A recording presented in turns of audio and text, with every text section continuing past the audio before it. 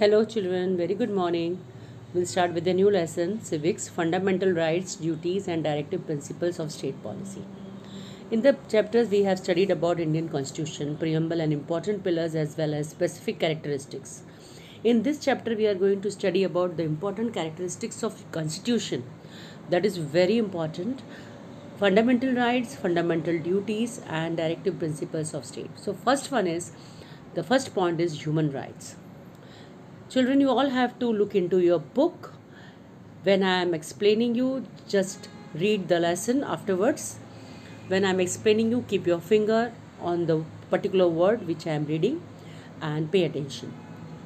Human rights are those which not only give a person a basic existence but also overall development in which society helps to construct an environment which enables him or her to grow. See, we are born in a society where we are growing socially, physically, cultural wise. So in that society, we are living with the the person is living with the human rights. So we are getting that existence. The person is ge- getting that basic existence, which gives you an overall development, and it constructs an environment which enables us to grow. In every democratic country, the citizens are conferred with basic rights. Whichever countries are democrat where the democracy is being followed, they are having this basic rights. Here, the person is not discriminated on the basis of caste and can experience the basic rights. The protection of these rights are assured by the society and the nation as well. The rights which we are having is being assured by the society as well as by the country. The person by his birth having these rights. And these are the basic rights, and that is what is called as human rights. United Nations General Assembly has declared these human rights on 10th December 1948 and 10th December is celebrated as Human Rights Day. Please underline this. This has been declared as Human Rights Day on, on 10th December and this is being celebrated as Human Rights Day. That is 10th December. According to the global announcement of human rights, certain basic and important human rights are added in the Constitution of India, and thereby these rights are being protected in a dignified way. Human rights, which are included by the Constitution of India, are known as fundamental rights. These human rights are called in the Constitution of uh, India as fundamental rights. They proclaim to live a dignified in a dignified way for existing as a human being we need food clothes shelter education health. These are our requirements basic requirements. Food clothes shelter education and health. So this we should get in a dignified and respectable way. In a country like us where we follow democracy allows all the citizens to enjoy equal rights for our development overall development. The status that is the country is giving us the guarantee for the beautiful environment wherein we are getting protected because of fundamental rights true identity of a democratic system. So first we will see the fundamental rights. The nation stability protection of india the nation stability is how it protects our citizens freedom and democracy is protected through fundamental rights. So they, these are the six important rights which is being mentioned in the constitution right to equality, right to freedom, right against exploitation, right to freedom of religion, cultural and educational right, right to constitutional remedies. These are the now we are going to study them one by one in details. Equality before law. Right to equality is what? Equality before law. And equal protection of law, which includes the right to equality. This is said to be this right is said to be a major foundation of all the rights and privileges which gives an important or give the guarantee to the Indian citizens, we citizens. It is one of the chief guarantee for of the Constitution of India. Every citizen of India is as very easy to access to the courts to ask for this right. We have that right. If you are not getting it, you can access to the courts to ask for this right. That is right to equality. According to this right, it is said that persons shall be shown favoritism on the will not be basis on color, caste, creed, language. There is no discrimination. No person will be shown any favoritism. That means no discrimination. Law is equal for everyone, whether if you are a peon or a prime minister of India. Law is for everyone. Everyone is treated equally here. And that is what is said to be in a general court of law. In each and every circumstances, the law should prevail equally. This has been said. The law which is there, which is mentioned, which is being given in the constitution is for everyone, whether you are a prime minister or you are a peer. There should be no discrimination, no favoritism of any person or any class, isn't it? So every person shall be equally, whether you are like how we say that you are allowed to go in any shops, restaurant, hotels, public entertainment places. Equally, you are getting these facilities all around in India. Then also there is to make any special arrangement for women and children or for the for social and educationally. The state has also been started so that the children and women should get that respect in the society for their socially development and educationally. Those who are backward class, they are also upgraded just to take care of these people. No citizen will be discriminated on the basis of race. This is very important sentence. It has also been uh, see marked marked this will be your, one of your answer if you can see 1.1 no citizen shall be discriminated on the basis of race caste religion creed any descent or place of birth. The government services higher education under the state. In a matter of state public services equal opportunity will be given. A state is giving permission to take decisions required qualification for the said services.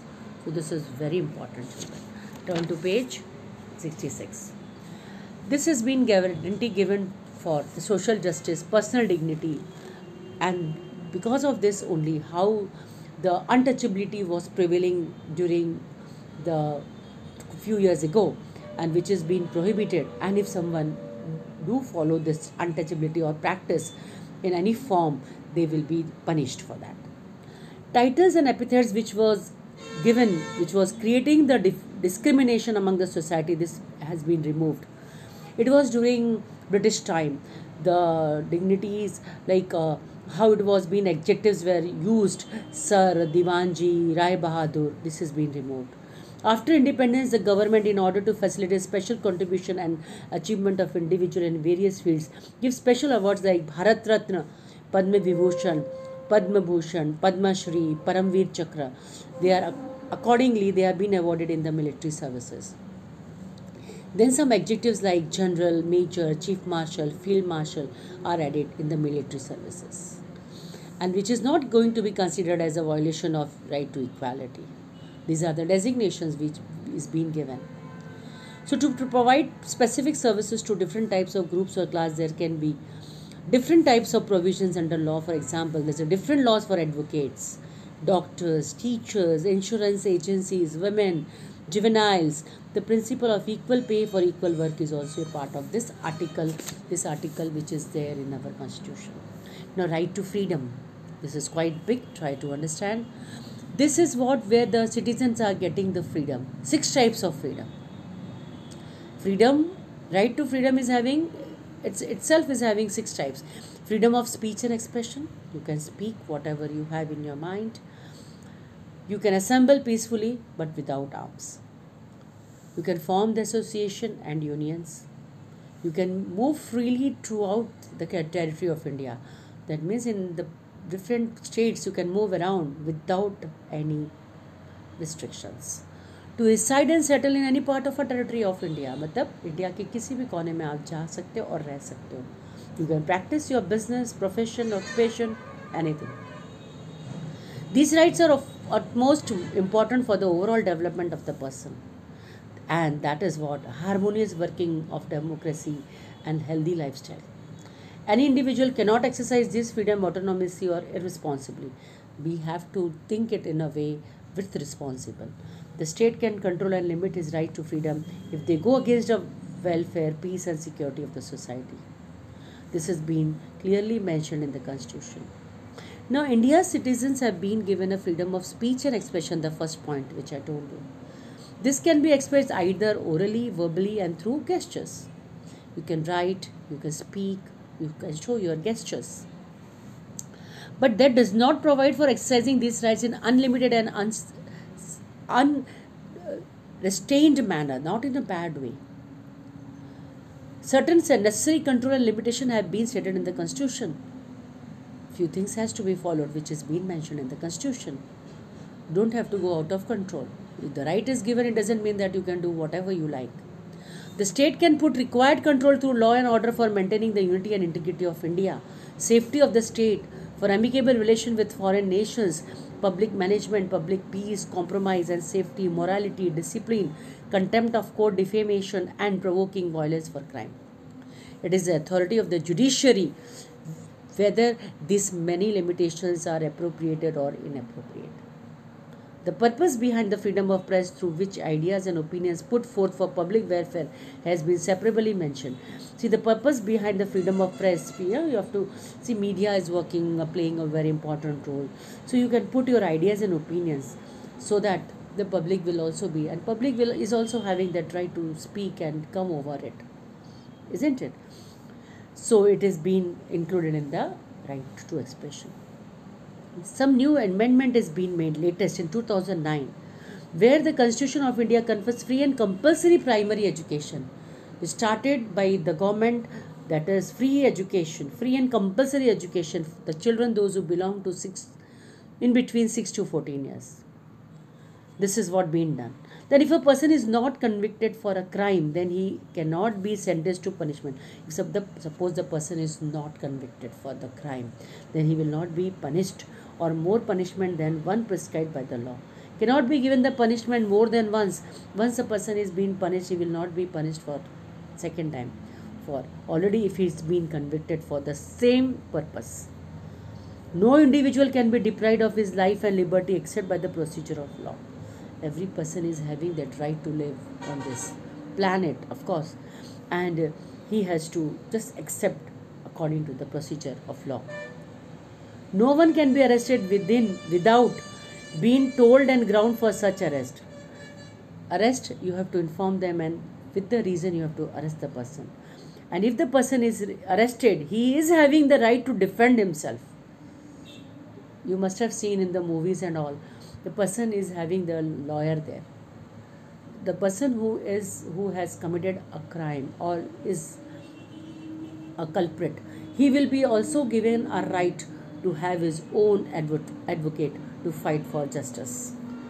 An arrested person has to be brought before the nearest magistrate within 24 hours. Without the permission no individual can be kept in the custody as per the Prohibition Act, the person under arrest will be applicable to the aforesaid matters. Next point comes this is 1.5 answer preventive detention. What is this preventive detention? If the state anticipates any criminal deed or activity from any person, then a precautionary measure that a person can be detained by the state under a preventive detention act. See, this is what preventive uh, detention is. If a state is anticipating any criminal deed, or activity from any person if they are getting as a precautionary measure that a person will be detained by the state. Suppose if they know that this person is going to do something wrong then the purpose of this act is not to punish a convict. They are just having a doubt on the person but will be asked to stop do this. If the state comes to know about any person that he is he is going to be convicted for some doing something wrong or some criminal deed, then he will be stopped for that. This is what is being done. Under this act, a person can be detained not more than three months. The detention or order can be cancelled based on the opinion of the judges of the Supreme Court or members of the advisory board. Thus, the state can decide the term of detention. Now, right against exploitation. This is the next right. Here the objective of the constitution is to see that any person does not suffer any exploit, exploitation in the hands of other persons. That means the exploitation should not be there. A society should be free. They want to establish a society where there is no exploitation. That is the objective of the constitution through which right, that is right against exploitation. Like for example, human trafficking, drudgery, slavery and forced labor are totally banned nowadays which was prevailing earlier. The violation of this right, suppose anyone is exploiting someone, that means they are violating the right, is punishable. Illegal trade of children and women, forced labor, imposed slavery, work without pay, and old drudgery system has to be ended through this right. This right is there to take care of the people around. To take work from any person without paying them or paying them less is minimum wages. Wages forced or imposed labor is punishable. If anyone is suppose they are following this or practicing this of forcing the laborers to do the work and not paying them properly, that is a punishable. That comes in that is they are getting exploited by the person the one who is working there so that is that comes in the right against exploitation any child under the age of 14 cannot be made to work in a factory mine or any dangerous profession garage hotel or cannot be employed as a household servant under the provision of child labor act all this is punishable offense so mandatory services can be shot out from any person for the purpose of public welfare of the state military service in any field respective of religion Next comes right to freedom of religion. With the name, you will be able to understand here you have your own choice to follow any religion. You can promote, you can propagate the religion which you belong to. This provision is mentioned in the provision of the Constitution of India.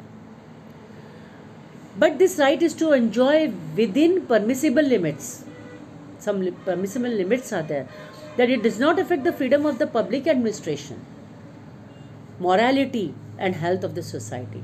The religious gatherings, offerings, or prayers are not included in this. The state of India does not have any religion of its own. India is not having any kind of state. Or the Indian state is not run on the, as per the principles of any religion or any sect or any section of the society. The state cannot interfere in the religious matters or religious beliefs of any group because everyone is free to follow their own religion. The religious groups are given the freedom to establish their own religious organization. They can manage it, they can administrate them with the religious and philanthropic aims. The state cannot use the funds collected through public taxes or public funds for the benefit of the see whether whatever the country the state is collecting from us the, from the public the taxes and the funds that is not used for the specific religion the religion is having the person those who are belonging to any sect of the religion can have their own sections or organizations of collecting funds and using it. But the state is not going to use the money which is from the public for any of the religion they have their own separate organization and institution. The education institution running on government grant cannot import religious. Suppose there is an educational department or the educational institution which is running on the grant of the government. Or the government is providing them the grants that means monetary funds are being given to the institution to run the institution that government uh, grant school will or any of the institutions or educational of course the educational means where the schoolings and colleges and universities they will not be imparting any religious education or compel the students to participate in any religious education or attend any religious meet Next point comes the cultural and educational right. Very important. Here it is the people of various religion, various language and cultures live in India. The people of India is having this their right to preserve their language, script, cultural identity and authenticity. Any educational institution can rely on government grant, cannot deny admission on the grounds of again the same thing any institution which is running by the government uh, help grants they will not be d- denying admission to the students on the basis of caste and religion and creed language or any other region if an individual appears to vote on the ground of religion caste and then it is considered to be a malpractice in the act 123.3 any of the state can frame a law and provide the right to citizens to form and manage any of the educational institute based on the cultural or linguistic minority. The state shall not discriminate in giving educational grants or educational scholarship from the state. Funds to any linguistic, uh, for language, they are getting the grants. They cannot deny it. If the state desires to take over or confiscate the property of the minority, institution then it do not do so only after giving proper returns in this way important provision in context of education institution have been made in the constitution so children this is what we have completed three pages and uh, you have to go through it read it and also see minutely the answers are being ma- marked. So you can go through it and can consider them as your answers and uh, can write in your notebook. And you have to read the lesson twice. Thank you. We'll continue the lesson in the second part